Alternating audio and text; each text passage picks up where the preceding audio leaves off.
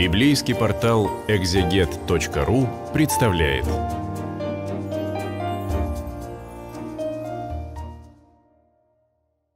Здравствуйте, друзья! Для библейского портала «Экзегет» читаем книгу Иисуса Новина с комментариями. На очереди у нас 16 глава. В длинной череде этих глав, в которых э, описывается раздел Святой Земли, раздел Ханаана, между израильскими коленами, 16 глава посвящена разделу, наделу колена Ефремова. Ефремово колено самое большое будет а, в, северной, а, в Северном царстве позднее, в эпоху разделенных царств. И колено Ефраима, колено Ефрема, оно будет пользоваться большим авторитетом и будет главным в Северном царстве – и будет подчинять себе и другие колена. Потом выпал жребий сынам Иосифа. Ефрем, Ефраим – это сын Йосефа, сын Иосифа. Ефраим и Менаше, Ефрем и Манасия. По сути говоря, колен израильских, их не 12, а 13, потому что колено Йосефа, Иосифа, разделяется на два колена. На колено Ефраима, самое многочисленное в северной части Израиля, оно будет, и колено Манасии, колено Менаше. Два сына было у Иосифа, и почему-то вот э, считается, что это не одно колено, а два. Колено Ефраима и колено Менаше. Хотя на самом деле это одно единственное колено, колено Йосефа.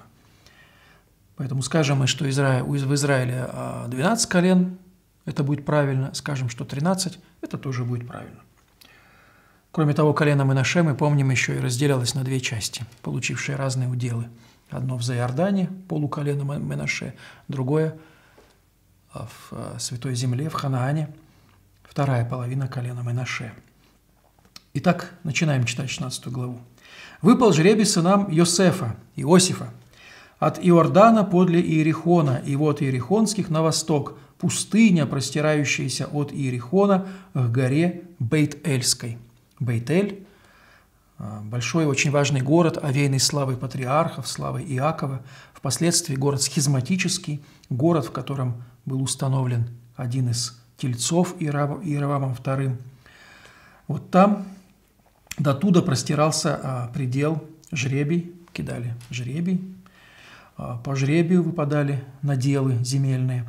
Вот от Иордана до горы Бейтельской. Бейтель – это уже Нагорье – начало Ефремова Нагорья.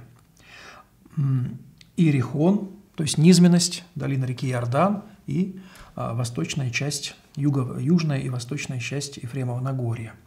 От Бейтеля идет предел к Лузу и переходит к пределу Архи до Атарофа.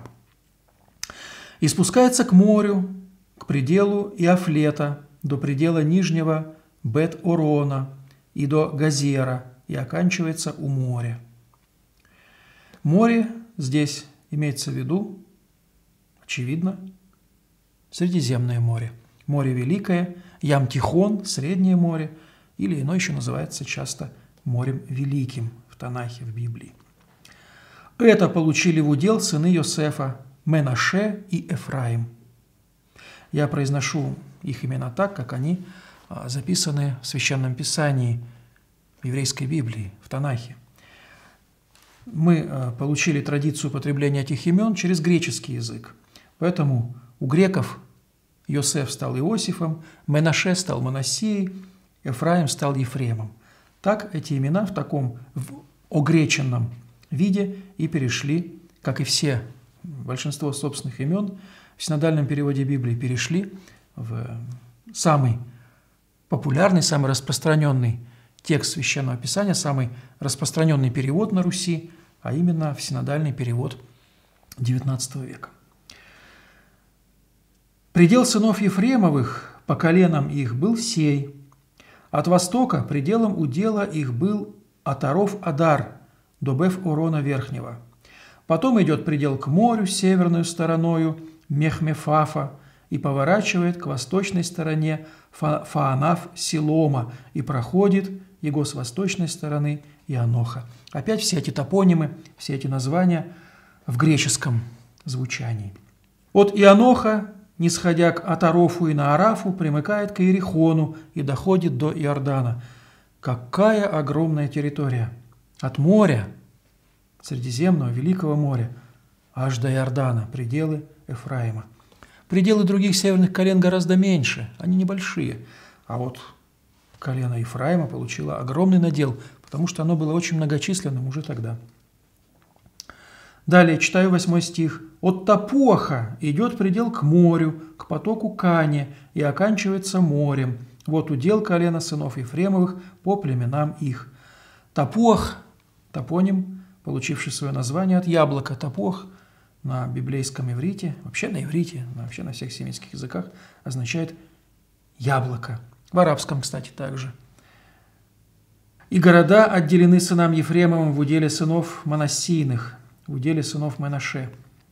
Удивительно, у Ефраима были города в уделе Менаше, его брата. Все города с селами их. Ну а дальше интересные слова 10 стиха. «Но не изгнали хананеев. Имеется в виду ефремляне не изгнали, поэтому синодальный переводчик курсивом добавляет слово ефремляне. Вот эти самые ефремляне, колено Ефраима, они не изгнали Кнаани, не изгнали хананеев, живших в Газере.